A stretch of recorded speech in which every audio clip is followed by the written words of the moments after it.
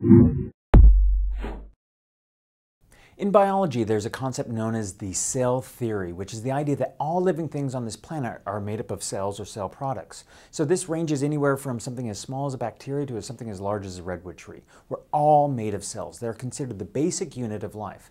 By basic unit, I mean kind of like how a brick is the basic unit of a wall. I could build a very small wall out of one brick, or I can make a large wall out of hundreds of bricks. Similarly, a bacteria, which is a unicellular creature, is made out of one cell, while something like me, I'm multicellular, I'm made out of trillions of cells. Now, the average cell is roughly 80 micrometers in size. Micro means one millionth. So that's 80 millionths of a meter.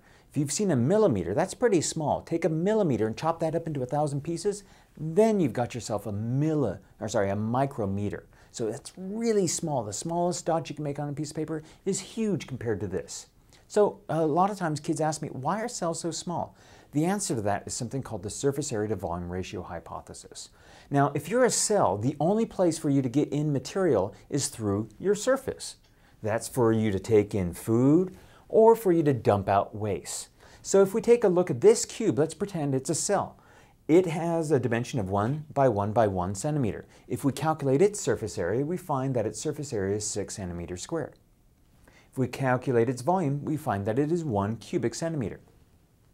So if we look at the ratio here, we have a surface area to volume ratio of 6 to 1. That means every 1 cubic centimeter of cell is able to suck in materials through six centimeters worth of skin or membrane. What happens though if I take this one big chunk and I chop it in half? Now I've opened up the inside and I can get material in through those two new interfaces.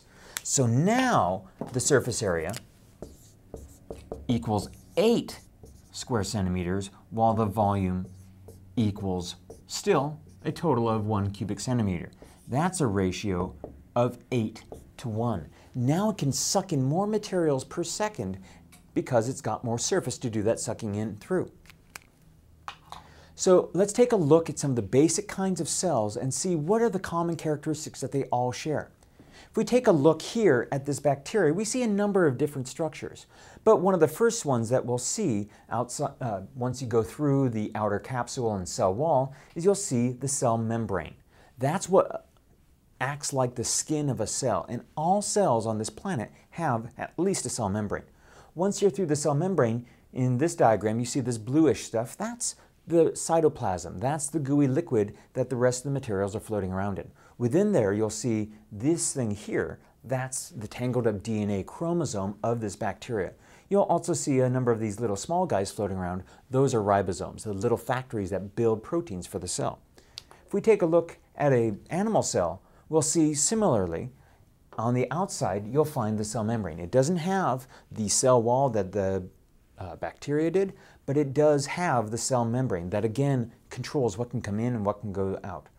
Once you're passed through that membrane, again you have the liquidy cytoplasm, which technically is the entire region from here to there until you hit the nucleus, but most people when they talk about the cytoplasm, they're just talking about the cytosol, the liquid there. Floating around again in the cytoplasm and stuck on the surface of these uh, wiggly things here are the ribosomes to build proteins. And inside the nucleus we have the DNA. If we take a look at a plant cell, we see again a similar structure. We see that cell wall that gives the shape and structure and protection for the plant cell. Just like it helped protect the bacteria, we see the membrane immediately underneath that, and then we have our cytoplasm with, yes, you guessed it, a bunch of ribosomes floating around inside, and deep inside the nucleus, we have all that DNA.